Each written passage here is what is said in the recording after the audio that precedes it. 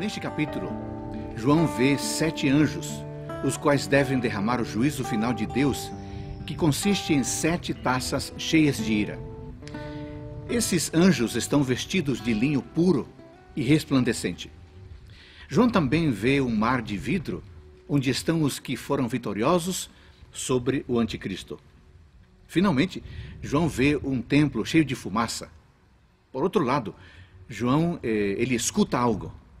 Ele escuta os cantores, aqueles que foram vitoriosos sobre o anticristo. Esses cânticos são cânticos de Moisés e do Cordeiro, que louvam a Deus por sua justiça, louvam a Deus por sua eternidade e também por sua santidade e por sua retidão. O capítulo termina dizendo que ninguém podia entrar no, santuário. Isso significa que o período de intercessão terminou. Ninguém pode entrar e ter acesso ao trono da misericórdia. O tempo de preparo acabou.